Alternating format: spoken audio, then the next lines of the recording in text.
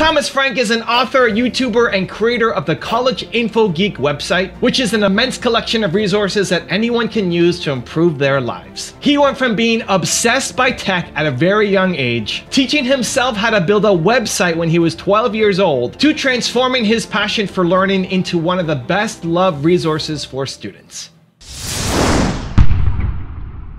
Need motivation? That's a top 10 video with Believe Nation. Top 10, I got a top 10. Got my motivation high for my top 10. Gotta learn from the wise women and men.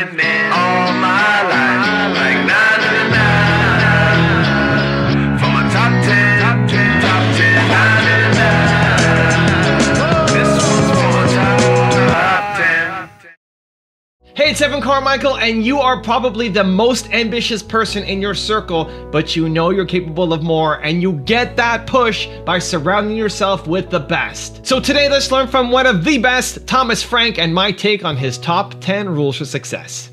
Enjoy. Okay, let's kick it off with rule number one start small. What's a tip that you might have for somebody who's trying to be more productive? Where do you even start with that, really? Uh, I think the biggest thing is to start small.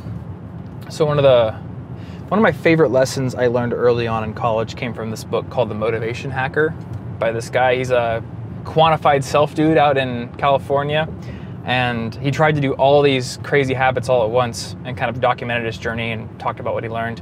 And he had this concept in the book he talked about called success spirals, where you have to start very small when you're wanting to build a habit and then you kind of spiral up and you add more difficulty or you add more habits over time mm-hmm. because you're sort of leveling up and then if you fall off you need to start small again. You can't start immediately where you were. So what i see in most people who start following me and asking me you know how do i become more productive they want to do all these things all at once. Mm-hmm. Start getting up at five in the morning they want to start journaling want to start meditating start reading you know a book a week all this kind of stuff. And you can't do it immediately. So the biggest thing for me is to find something that speaks to you and start with that and make sure you can get it really solid. So start with one. Yep. And then start small. What do you mean by start small? Uh, it could be so say you want to start doing pull-ups every day. Start by doing one pull-up a day, or start by just making yourself go to the gym and just getting there. That's you know that's the accomplishment for you. Yeah. And then start moving forward because a lot of people they see like a recommended program from a pro online and they'll say, okay, I'm going to do that every single day because that's what I need to do. But when you haven't spiraled up, like Nick says, you can't stick with that kind of a program unless you're some sort of you know ridiculous discipline robot. Uh, so you want to start smaller, and then eventually you can stick to that kind of a big program. Rule number two develop your skills. And there's another thing that people need to realize. Regardless of what a person like me or a person like you is known for being skilled as, maybe um, a podcaster, a YouTuber, or an athlete, there's like a meta skill that each of us has, I don't want to say mastered, but gotten very good at, and that's presenting ourselves very well in mass media. Hmm. That's why our president is somebody who was in the media. And this started, I think, with Ronald Reagan. It's people who know how to how to use mass media tools to make themselves look very good and to deliver a message. So people at home who haven't practiced that skill look at people like us, assume that they, they don't see that. They just see that oh, we're a god of productivity or a god of podcasting or like the best filmmaker ever or something like that. Rule number three get rid of I don't feel like it.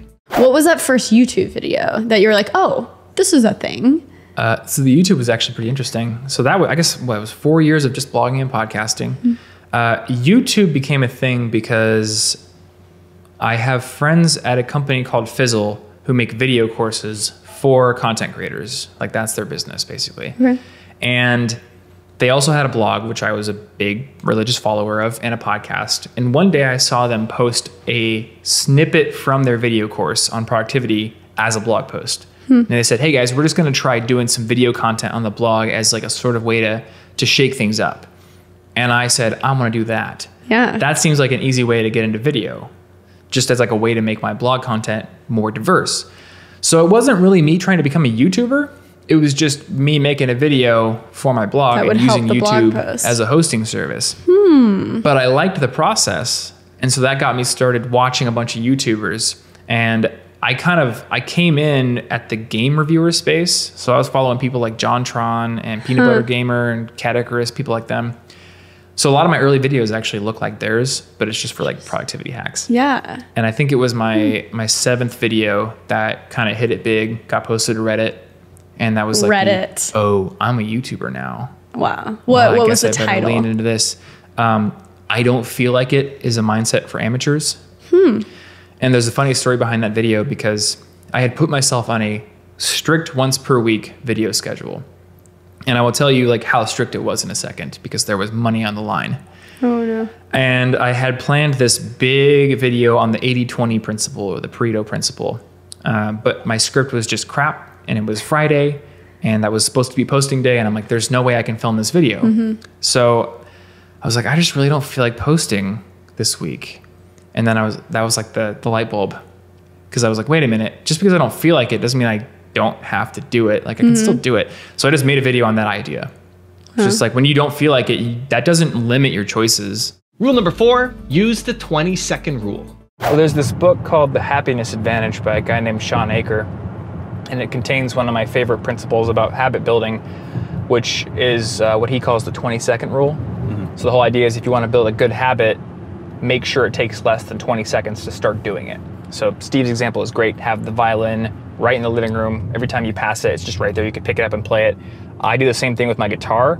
So I went out and I bought a really nice guitar recently, but it's it's nice and I live in a dry climate, so I have to keep it in the case uh-huh. all the time with a humidifier. And that makes it kind of a pain to take out and play. So I keep my cheap guitar so I can have it out in the living room all the time. I, I end up playing that guitar probably 75% of the time, but that guitar ensures I play every single day. just because it's out. Yep, and that's why I've gotten as good as I have. Also, if you want to have more confidence, motivation, and self love, check out my 254 series. They're free. The links to join are in the description below. But I'm interested in your opinion. Let's go around the room. It's too late. The skill to hold your opinions to yourself until everyone has spoken does two things. Always pushing yourself forward, always demanding more, and seeing the beauty in what you can become, and knowing that even today, as a caterpillar with nothing, two years before kind of started getting big when Yeah. Serial came out and everyone else started to do them. Rule number five find your drive.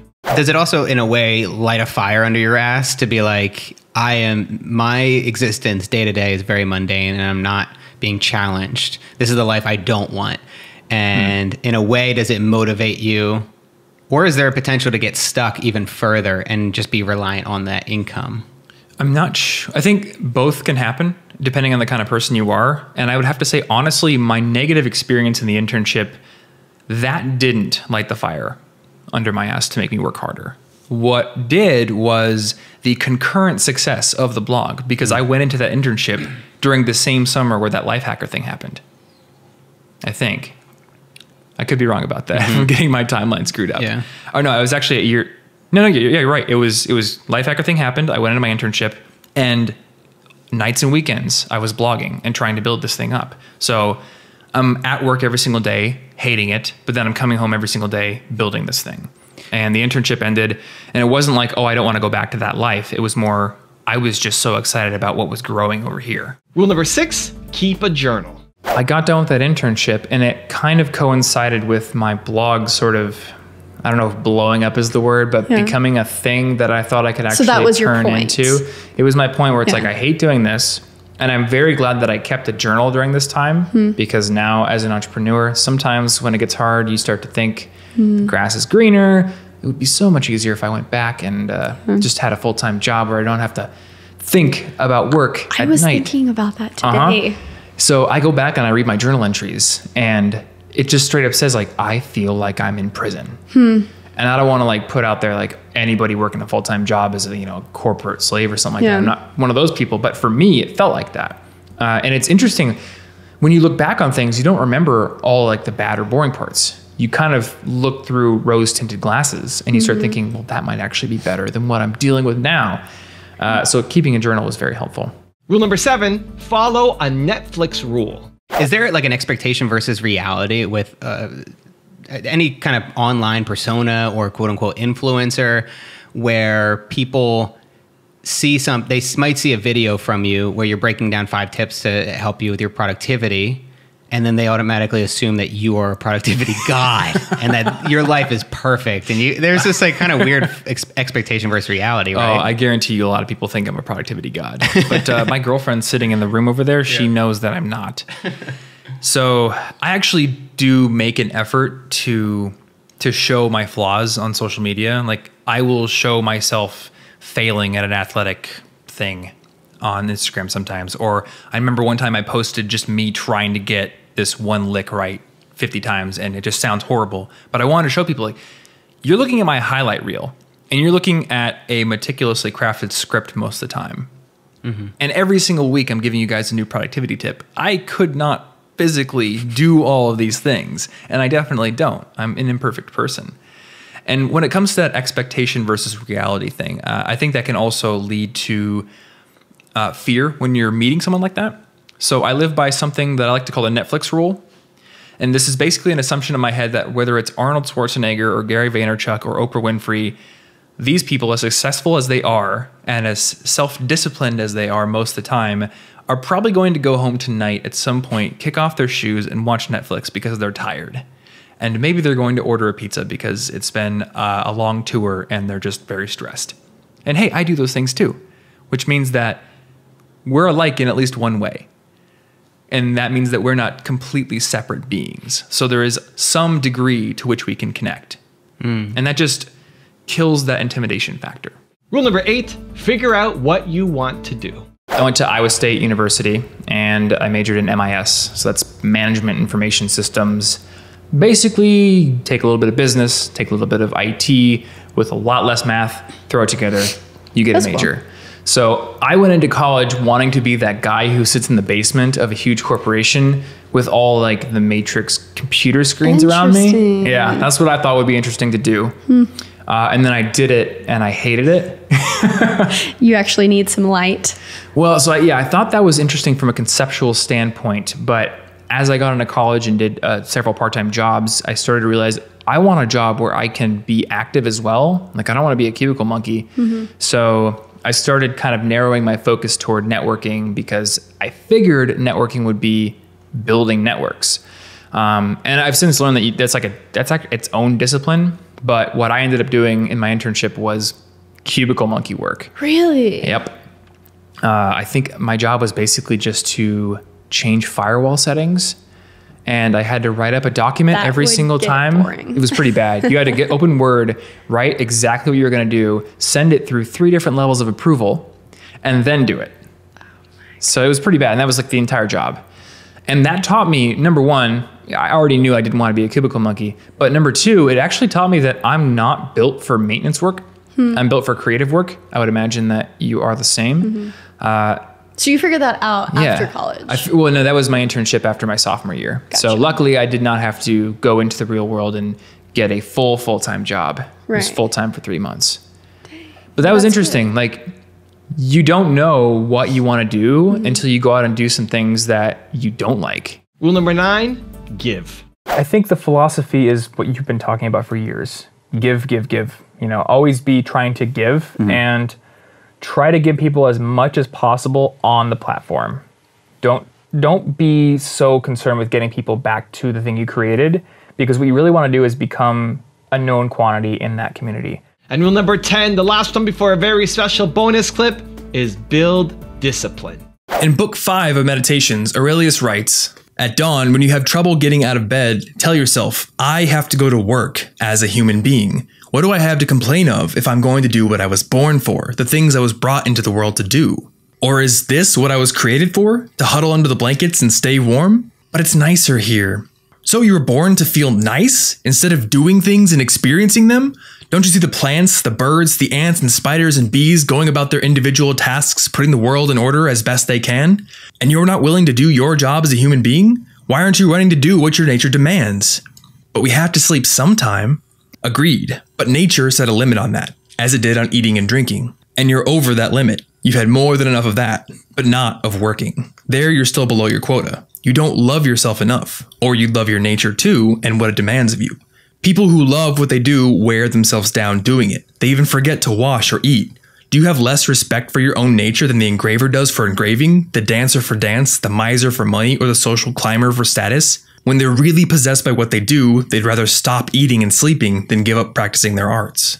He's telling you to respect your choice of path in life enough that you consider it to be your very nature, to be instinct. Just as spiders and bees and ants get up every day and are driven by their instincts, so should you be driven by the actions that are demanded by your goals. If yesterday you decided you wanted to get up early so you could work on your goals, but now you're lying in bed and you feel all comfortable and you don't want to get up, then you need to focus your mind on your nature, on the path you've chosen, and let that override your current desire. Other aspects of the art of gaining self discipline, like exercises for building grit or systems that commit you to things ahead of time, are important, but they take a back step to this one key insight.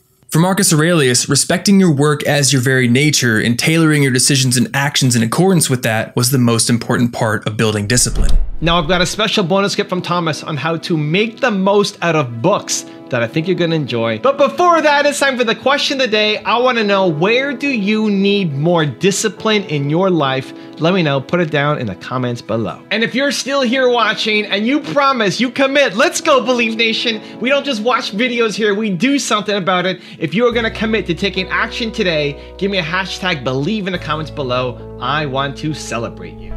I also think it's it's not healthy to be overly concerned though with the best books because number one, you're basically relying on other people's opinions. But number two, a book may not be amazing for some people, but it might, because of your particular circumstances or your particular goals, it might send you along a path that ends up being very rewarding for you. Uh-huh. And that might not have happened for somebody else. Uh, and like we were talking about earlier, don't finish bad books. You know, if you find out that the book you chose is really not worth it, then put it down your time is worth more than the. It's hard to put down bucks. a book though, because once you start it, you kind of feel like you have to finish it. Yeah, I think we believe that because we see all these people on the internet who say they read a book a week, or they got this Goodreads profile with a thousand finished books, uh-huh. or you know we've been taught to finish what we start. But the end goal of a book isn't to turn the last page. I mean, that really doesn't do anything for you the end goal of the book is to get something out of it or to enjoy the process of reading it. So if a book is doing neither of those things for you, um, you know, barring the whole advice to stick things out, you know, because they may be worth it in the long run. Mm-hmm. If something is just not worth your time, then it's not worth Why your time. Why do it, right? Yeah. So let's say you grab a book that is useful for you. How do you make sure you apply what you actually read in that book instead of just what most people do is they close it and then they move on to the next book? Yeah. Um, Number one, it's good to take notes or summarize. So, my favorite way of taking notes is to sort of read the chapter and then either jot down notes in a bullet list or just a summary into Evernote. So, you don't write notes as you're reading? Nope. How come? I, uh, I, because I find that it just slows down my reading process. So, with some books, I'll use like those book flags or highlighter and maybe highlight certain sections or make a mark in the margin, but I don't like to pause and take notes, like to kind of immerse myself. That makes sense. The other thing is I also listen to a lot of audiobooks. Um, a huge uh, commitment of mine is to have a lot of physical activity. So when some days I can't sit down to read, but I always listen to an audiobook.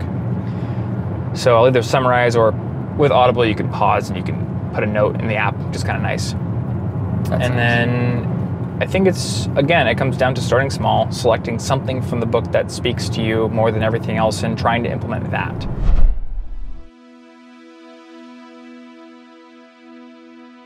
If you want to see another awesome top 10 rules of success, check out the video right there next to me. I think you'll enjoy it. Continue to believe, and I'll see you there. The first step was to ask questions and to look inward and to say, why am I unhappy? What do I actually want? What should I be doing with my life?